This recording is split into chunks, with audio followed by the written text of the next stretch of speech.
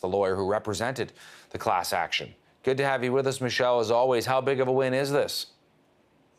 Oh, I think it was a big win. I mean, there was no uh, no certainty at the beginning, sort of, whether or not we would win that. Uh, we took huge risk. Uh, the leading counsel in it was Mr. Malcolm Ruby from Gowling and uh, my firm. So the two of us worked for almost six years. The class action was certified uh, four years ago, and uh, it was anything but certain at the beginning when we took this on. but eventually, we we got ourselves into a settlement negotiation with the Department of Justice on behalf of the Government of Canada.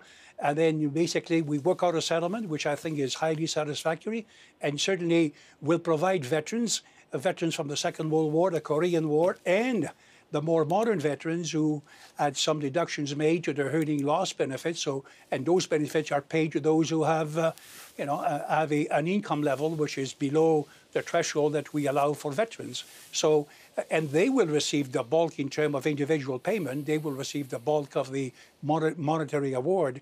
And, and these payments will be made within the next six months or so. So it's um, it's long overdue. Uh, we have been uh, deluged with uh, phone calls and emails and so on from veterans across the land uh, who were anxious to uh, to get the court decision, anxious of that to know whether or not uh, the payment will be approved, and uh, it is. So now it's a matter of being a little bit more patient before they can receive the check in the mail, which I must add, um, because of the good work done by my friend uh, Malcolm Ruby at Gowling, all of that will be tax-free. So it's a it's a double, in fact, uh, what they would have expected to begin with. And Michel, where is the money going to go in terms of uh, helping these people? Well, it's going to go to the Second World War and the Korean War veterans. There's about 12,000 of them and about 2,500 of the modern day veterans. So they're spread across the countries.